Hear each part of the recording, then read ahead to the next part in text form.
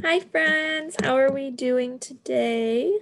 So, we are going to focus our energy on something a little bit different. It's called plot. Have you ever heard the word plot before? Kind of sounds like the word plop, like, but this is actually what happens in a story. So, the events, the action.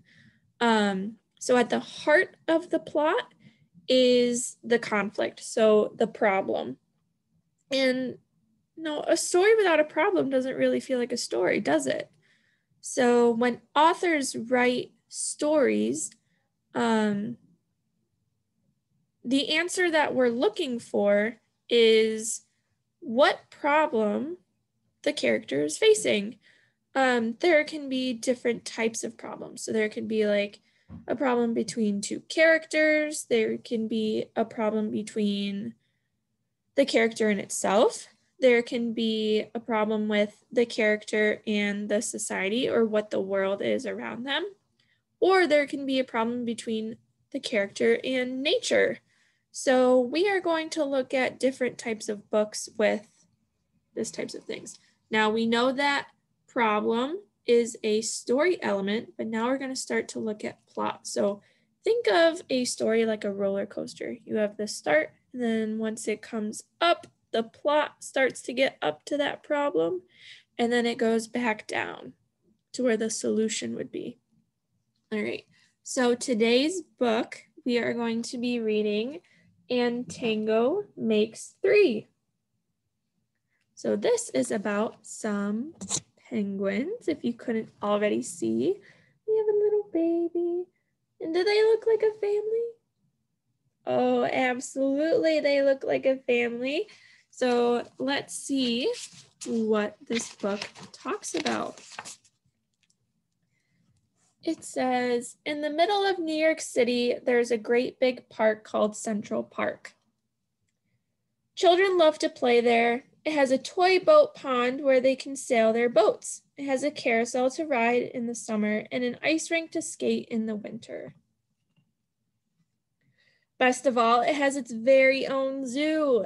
Every day, families of all kinds go to visit the animals that live there.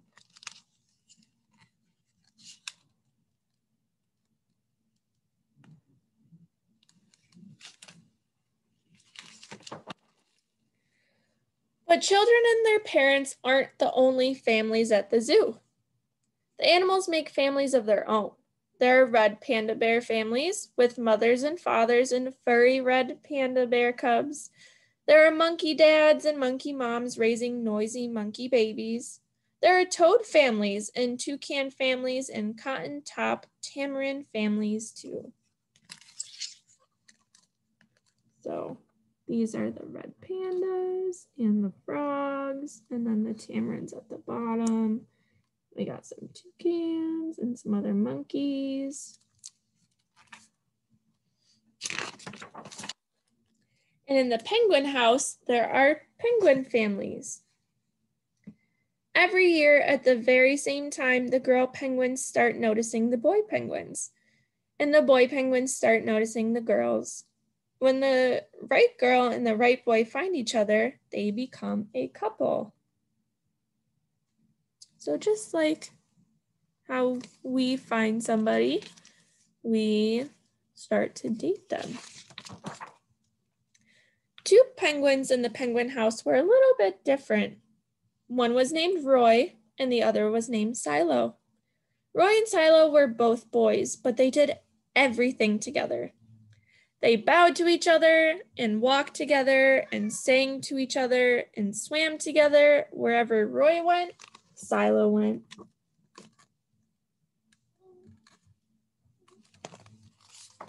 They sound like besties.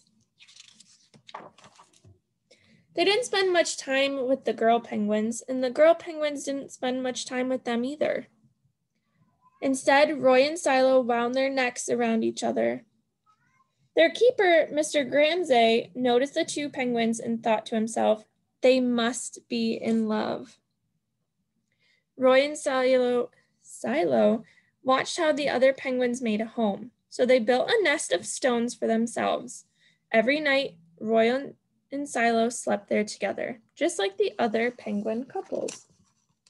So there they are making their little beds of rocks.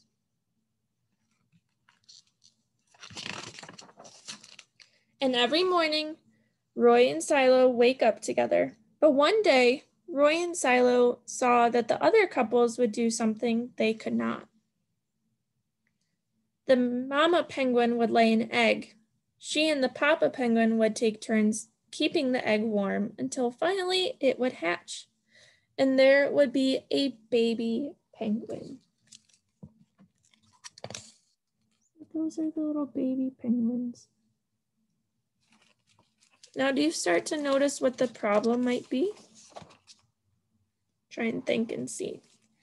Roy and Silo had no egg to sit on and keep warm. They had no baby chick to feed and cuddle and love. Their nest was nice, but it was empty. One day, Roy found something that looked like what the other penguins were hatching, and he brought it to their nest. It was only a rock, but Silo carefully sat on it and sat. Oh, sorry.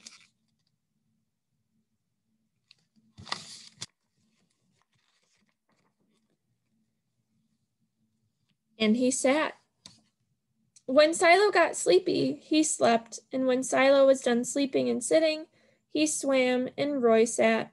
Day after day, Silo and Roy sat on their rock. But nothing happened.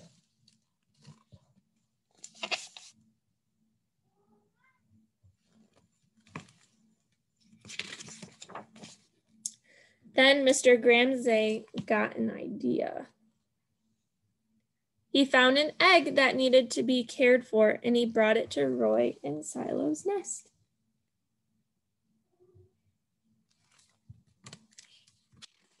Roy and Silo knew just what to do.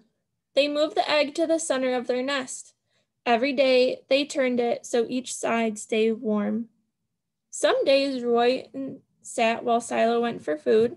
Other days, it was Silo's turn to care for the egg. They sat in the morning and they sat at night. They sat through lunchtime and swim time and supper. They sat at the beginning of the month and they sat at the end of the month and they sat all the days in between. I'm sorry if you guys can hear my kitty. He's a little hungry. Until one day they heard a sound coming in from inside of their egg. Peep, peep, peep, peep, it said. Roy and Silo called back. Squawk, squawk. Peep, peep, answered the egg. Suddenly, a tiny hole appeared in the egg's shell. And then, oh, there's a little baby penguin. Crack, out came their very own baby. She had fuzzy white feathers and a funny black beak.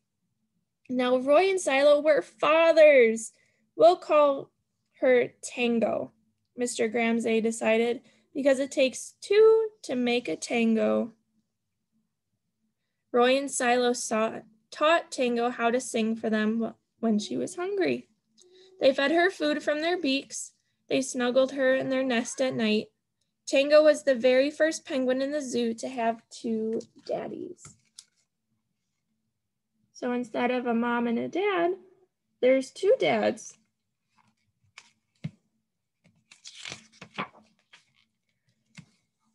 Soon, Tango grew strong enough to leave the nest. Roy and Silo took her for a swim, just like all the other penguin families, and all the children who came to the zoo could see Tango and her two fathers playing in the penguin house with the other penguins.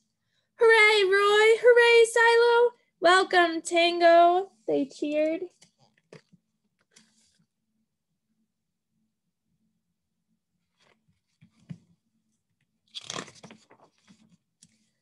At night, the three penguins returned to their nest.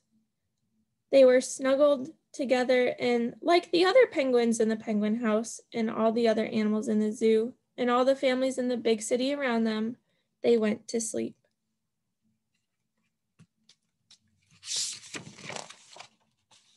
And that's it. What did we think? It's kind of different than what we're used to seeing in a book, right?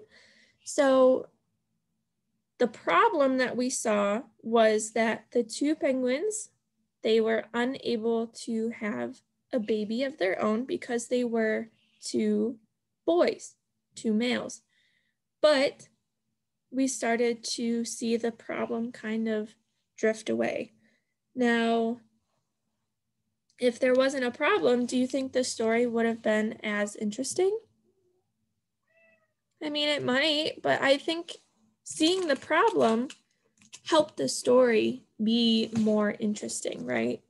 So I think that this story was more of a character versus nature.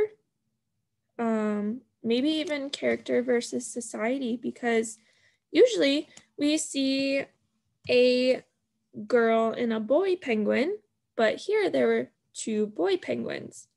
Now, it doesn't have to necessarily be penguins either in the world.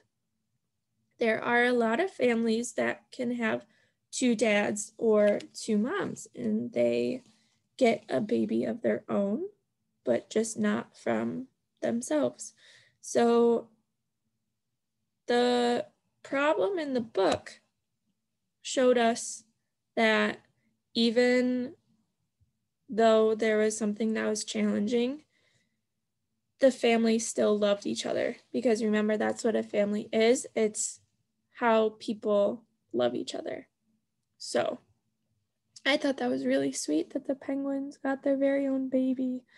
Um but try and think of a problem that you face in your life and see what kind of problem is it. Is it within you and another person is it a problem with something that you're dealing with yourself?